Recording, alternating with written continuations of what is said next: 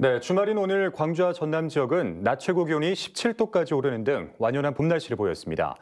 도심과 관광지는 나들이객들의 발길로 하루 종일 붐볐습니다. 김재현 기자의 보도입니다. 산책을 즐기는 사람들로 북적이는 바닷가. 주인을 따라 나선 강아지들의 발걸음도 가볍습니다.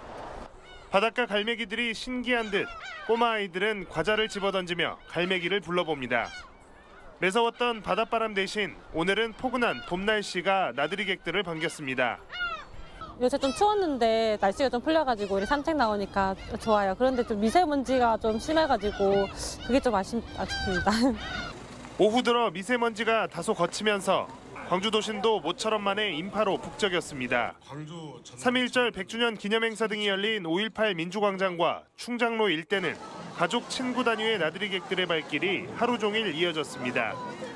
두꺼운 외투 대신 가벼운 옷차림으로 나들이를 즐기며 봄 기운을 만끽했습니다.